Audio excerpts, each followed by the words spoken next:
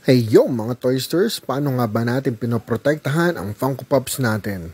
May sikreto dyan, ang tawag namin ay Boss Protector. So here we go.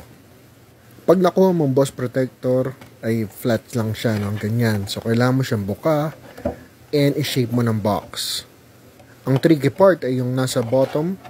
Tingnan natin sa kabila. Yan, dapat dito ay mag-align siya. So, tulak mong konti. Ayun, no? Nakita niyo yan? Dapat mag-align siya. So, napush na natin, pero hindi pa siya aligned. So, we need to flip the box and kunin natin sa loob. So, yan. Diretso na siya. Very good. Some of the boss protectors has this, boss, nakasulat. Some of them have dice on it. So, yung dice protector, I think mga 35 and boss protectors, uh, I think 50. Depending on the store.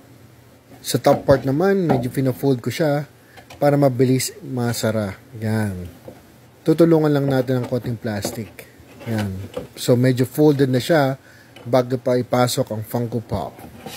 So, yan. Medyo kumorte na ang Boss Protector natin. Makakatulong ang Boss Protector para maprotektahan ng yung Funko Pop at para mapatong-patong mo rin to, no? mas matibay siya. Siyempre, ang mga Funko collectors, mas maarte sa box, no? Kaysa sa Funko Pop. Hindi ko rin alam. Yung box may rating, no? Pero yung Funko Pop mismo, wala. So, ayan. Isarado na natin at ipasok dyan. So, kung alam nyo kung bakit box ang mas mahalaga, comment down below. And see you next time, mga Toysters. Bye-bye.